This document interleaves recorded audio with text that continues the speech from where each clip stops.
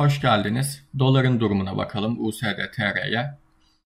Şuradaki şu hareketin hedefine baktığımızda, şuradaki çanak formasyonu hedefine baktığımızda, şunun boyu kadar koyduğumuzda 10 TL hedefine doların geldiğini görüyoruz. Hatta 10 TL'yi de geçtiğini görüyoruz ve şu şekilde şurada bir trend çizdiğimizde artık bu trendin tepesine doğru yaklaştığını görüyoruz.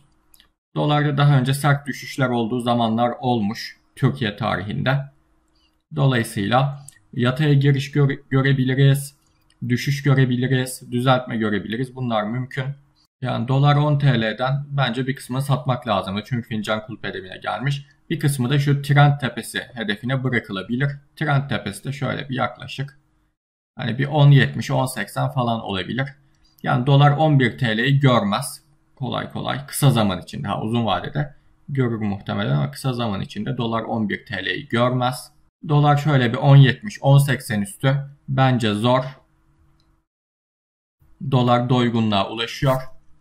Dolardan para kazandıysan, kar ettiysen o zaman kar edebileceğin başka şeyler de bulabilirsin. Çünkü dolardan kazanmak bence artık zorlaşacak. Çünkü doygunluğa ulaşıyor artık. Bakın şurada sert bir yükseliş var.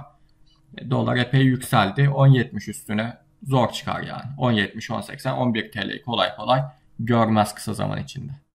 Neye göre? Şuradaki şu trende göre.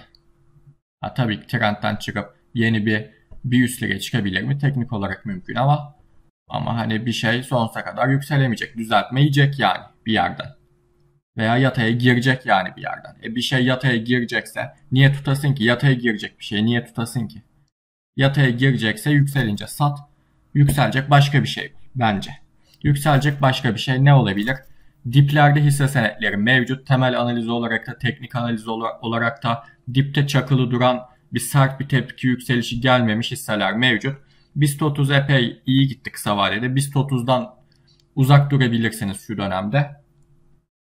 Ya tabii BIST 30'daki rally devam edebilir tabii ama işin dipte yakalayamayınca ezilebilirsiniz. Bir anda düzeltme gelirse basabilirler üstünüze.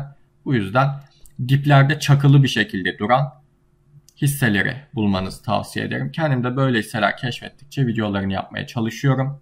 Altına baktığımızda altının da artık şu düşen trendi kırdığını ama şöyle bir onay hareketi alıp şöyle bir 1800'lere 1795'lere geri dönüş görebiliriz altında.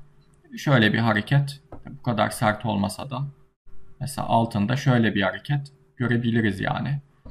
Altın hala eski zirvesinden aşağıda. Altın hala 2000 doların altında. Altın 2000 doların altında olduğu sürece bence ucuz.